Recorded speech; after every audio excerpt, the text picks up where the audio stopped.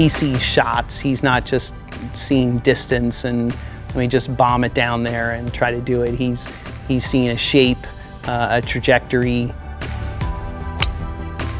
You can only really do that if you're trying to create a shot shape and you have to sort of back off and sacrifice some distance in order to pull that off.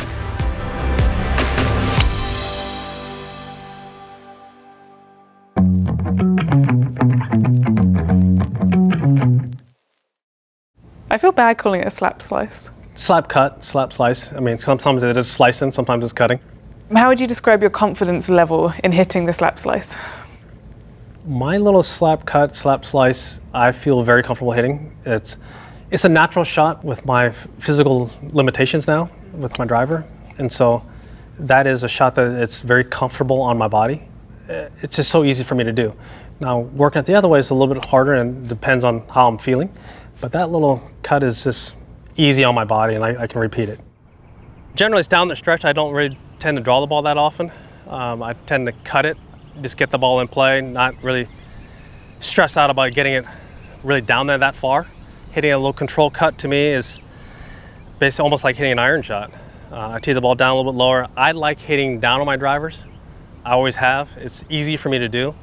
Hitting up on them is a little harder for me to do. It's never been something I've been really good at, uh, but hitting zeroed or slightly down on driver is very easy for me. Late, late 90s, early 2000s is when I really tried to learn how to do it. I did it differently then because my body was moving differently. Here now, I don't have to, I don't have the speed like I used to, so I've gone a little bit more loft to be able to hit that shot and keep it up there and, and still cut it. So the draw was up there so try and get that as much of the ball as possible above the crown. If I want to hit one low and cut it, I try and get most of that ball below the crown. And so that's like a perfect cut for me. I can hit down on it. I have plenty of space to have the driver even click the grass on the way through. On my bottom of my drivers, um, especially in the early 2000s, you see grass stains on the bottom of my drivers from basically hitting down on it and clipping off the top of the grass like that. As the drivers have gotten bigger and deeper, it's a little bit harder to do, uh, but I try and, and replicate that as much as I possibly can. I think that's sort of the veteran PGA Tour player uh, approach. If you're young and you're trying to attack a golf course all over the place, you might get enough good lies and you might um, put together an incredible round here and there, even if you miss 10 fairways. And then over the course of you know 15, 20 events a season, well, what are the odds of you playing well that way? I think he's he's realized, like most veterans, that you, you play the more conservative way. I'm like probably most kids was enamored with high hooks, trying to run it out there and hit it further, and uh, playing the tour and or top amateur golf and then playing the tour early on in my career, that wasn't going to be the case. Uh, it's about more control than it is about hitting high hooks. And uh, yeah, I've been able to hit more controlled cuts than I have high hooks. I'm seeing this ball start off along the tree line, the last tree on the, on the left-hand side, the kind of lone tree in the middle of that bunker. And I would tee that ball pretty much right there. Got plenty of room to hit down on it. As I build a stance, it's more left, obviously than a, a draw, but I I like hitting more of a, a, pull cut. And so I don't really, my one of my tendencies is to aim too far left and I start having to, I having to scoop it. I like, feel like I can have it start maybe, maybe a yard or two left of where I'm aiming. And so I'm able to pull pull across it and down on it like I would an iron shot. And so that's one of my feels. So I'm gonna hit a little cut here, a little slap cut up the left side. I'm gonna aim it middle of that bunker, but I'm gonna start on that lone tree there. So I'm gonna build that stance, middle of that bunker when I feel like I hit down on it and pull it just ever so slightly. Wind is just cropped up off the left. So it gives me a little bit more opportunity to pull it a little bit more.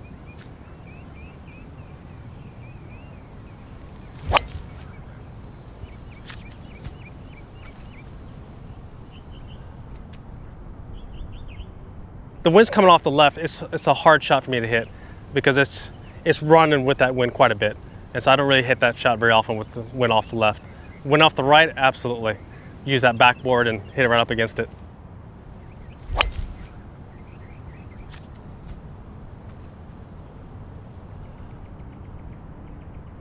All day. Easy. I got that shot.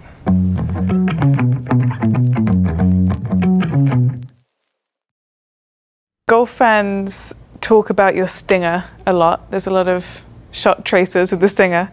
Um, is there any story behind learning that shot and how that shot came about? Learning the stinger was basically learning how to flight my wedges better and learn how to stop it shorter and get my wedges to flight better. And it crept into getting a shot in play. Whether back then it was a two iron off the tee. One of the great lessons I ever got was from Jackie Burke.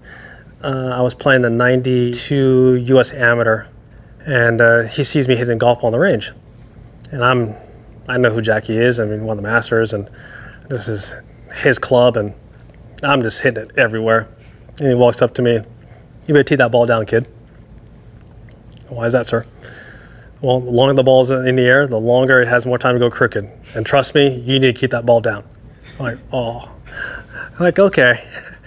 Uh, that is one of the things that hitting that ball down is inevitably was starting in my short irons, got in my two iron, got in my three wood, got in my driver, um, and just kind of spread throughout the entire bag. Here we are with my three iron stinger. It's uh, one of my go-to shots. You, I'm sure that most of you have seen this shot. The shot I'll play quite often just to get the ball in play, whether it's a three iron, four iron, or it's a five with three wood even sometimes a driver. Uh, it's the same kind of shot. Because I'm hitting down on it, I'm try. I like hitting a, a, low draw with this one. So the more the more back I play it, obviously the more draw I'm going to have on on it. So I go back just a little bit of my stance. Really try and feel as if I make a normal backswing. I still get behind the ball, still load the right leg, but I really try and feel like this right shoulder gets on top of that golf ball. It feels high, it feels like it's covered. And now, one of the things that depends on how far I want to get down there or how, how low I want to hit it is how much I'll take out on the follow through. And sometimes that's one of the things that I may hit it you know, quite short, but it's at the trajectory that I want. So I'll hit down on it, but I'll stop it quickly here. It's not going to go as far, but it's to have a low height. It'll be lower than tree height out there, so it gets stays out of the wind, never gets above the tree height. Go a little bit further, maybe a little bit higher. It'll be right on tree height. So I really try and feel like I cover it, I get on top of it, and then I'll, I'll shut it off after that.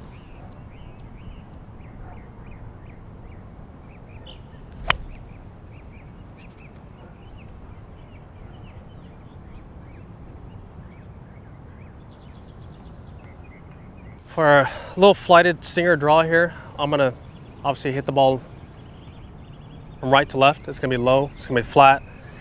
I like playing a little further back in my stance, maybe a ball, ball and a half back in my stance. Really trying to feel that my right shoulder stays high. I get behind it, stay high with my right shoulder. And then if I cut it off here, it's gonna be pretty, pretty low. Uh, if I go a little bit further, it's gonna be a little higher.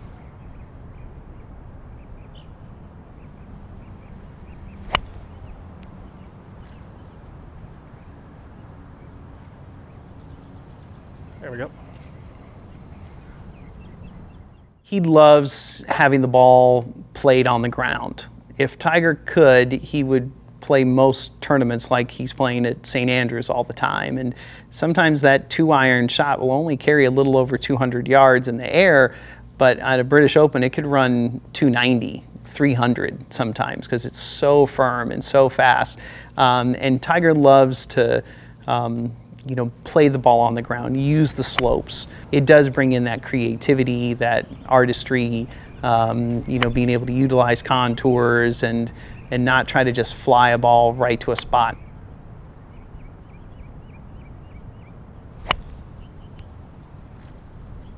I feel like if I hit a lot of fairways, for me, if I get if I get a lot of fairways, I get you know 10, 10 fairways a day or 11 fairways a day, I like my chances with irons in my hands, uh, clean lies that many times over a 72 hole period.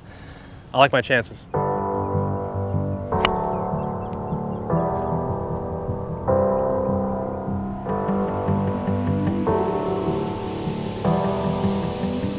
How low can you actually keep the ball down with a stinger?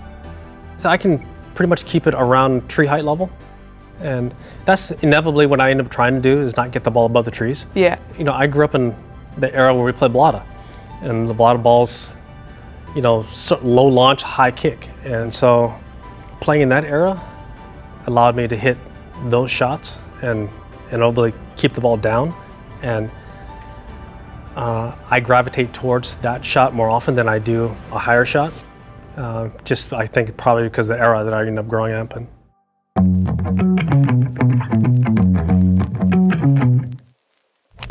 There are more scenarios in which I need a five wood now than I would a two iron. If I want to hit one high, pull the ball one ball further forward in my stance, stay behind it, and really try and feel like my hands move past my body. I'm always doing something with the golf ball, slight cuts, slight draws. I'm just maneuvering the ball, even if it's like a few feet in the air. I think it all starts with hitting the ball flush.